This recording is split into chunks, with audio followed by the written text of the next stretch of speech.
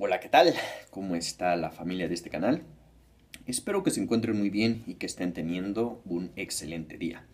Eh, en el video de hoy que vamos a hablar, hoy quiero compartir con ustedes un poco de lo que es el té verde, eh, algunos beneficios que ya se han descubierto que el té verde sí funciona para ello y otros que aún falta realizar más estudios para que se pueda decir que sí funcionan para esos beneficios. Pero bueno, antes de iniciar, déjame recordarte lo que siempre recuerdo en cada uno de mis videos y es que si no sacas tiempo para el ejercicio, pues ya lo sacarás para la enfermedad. Y que en este tiempo cabe mencionar que estamos la mayoría atrincherados en casa. No sé qué pretexto pueda poner ahora la gente para no realizar ejercicio, ya que como mencioné estamos en casa. Se cuenta con mucho tiempo para hacer ejercicio, inclusive ejercicio en casa. Pero bueno, no quiero liarme con ese tema. Eh, mejor comencemos con lo que es el video del té verde.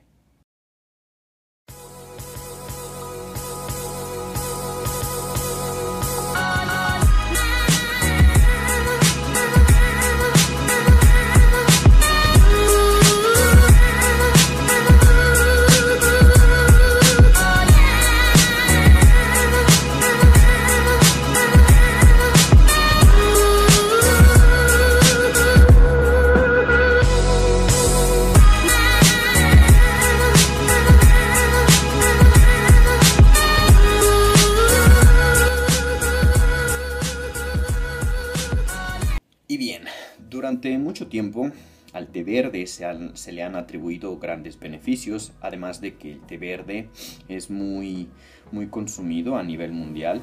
Es una bebida muy consumida. Eh, algunos beneficios que se le atribuyen al té verde son como protectores cardiovasculares o cardiotónico, también para estimular el sistema nervioso central, eh, también puede ayudar a el estreñimiento, en algunos casos se ha mencionado, se puede utilizar como astringente también. Y bien, esto es debido a los principios activos que posee el té verde. Sí que es bien sabido que las propiedades o principios activos que contienen el té verde son lo que le van a dar estos beneficios. Y bien, ya comenzando a hablar sobre el té verde, también vamos a tocar a su hermano, el té negro. Ambos provienen de la misma planta, la planta que se llama camelia. El- a diferencia del té verde, el té negro contiene diaflavina y contiene galatos. Estos principios activos lo que le hacen al té negro es darle unas propiedades antibacterianas. Eh, es por eso que el té negro se suele utilizar más eh, cuando una persona padece alguna molestia estomacal, ya que como mencioné, eh, contiene eh, propiedades antibacterianas, va a ayudar a mejorar los síntomas estomacales, a diferencia de, el, té, el té verde, perdón, el té negro es un poquito mejor para cuando una persona presenta unos malestares estomacales. ¿Y cuáles son los principales principios activos de lo que es el té verde? Pues el té verde contiene unas bases sánticas, principalmente los que sobresalen son la cafeína y la teína. Estas son las principales bases sánticas que contiene eh, lo que es el té verde, que en un momento te explicaré para qué sirve esta la cafeína o la teína, que muy bien eh, ya todo mundo sabe que la cafeína es el mejor estimulante del sistema nervioso, eh, aunque sí que es verdad que el té verde por contener teína tiene un poquito menor dosis de, estimulante que el café. Normalmente el café eh, te, te estará brindando alrededor de 200 miligramos de cafeína y esto te estará alterando un poquito más el sistema nervioso central y el té verde te está brindando 100 miligramos de teína a lo mucho vendría siendo prácticamente la mitad de lo que es la cafeína y es por eso que la cafeína obviamente encontrada en el café pues es muchísimo más estimulante del sistema nervioso central que la teína contenida en el té verde. Otras propiedades del té verde es que como ya mencioné al contener cafeína y estimular el sistema nervioso también estimula lo que es la frecuencia cardíaca acelera la frecuencia cardíaca, también eh, acelera la respiración y además de esto va a ser como un vasoconstrictor o vasodilatador de los vasos sanguíneos. También el té verde puede ser considerado como un diurético debido a que aumenta la filtración eh, glomerular y también disminuye la reabsorción tubular. Es por eso que en muchos lugares se suele utilizar el, el té verde como un agente diurético para evitar la retención de líquidos. Aunque cabe mencionar que los polifenoles presentes en el té verde hacen que la teína tenga un efecto más suave pero a la vez más duradero a comparación de la cafeína que nos aporta el café. ¿Qué va a hacer esto? Que la teína va a hacer que la adrenalina no se destruya tan rápido en torrente sanguíneo y se mantenga por mayor tiempo en la sangre, en la circulación. Esto le puede dar eh, a su vez una propiedad lipolítica. ¿Qué quiere decir?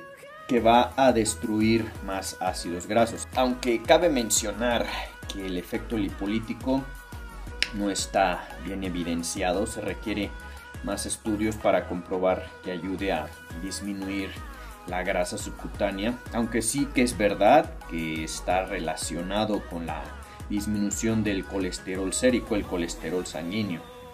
Pero tampoco creas que el consumir té verde va a ser el milagro de disminuir tu colesterol a niveles sanos, no.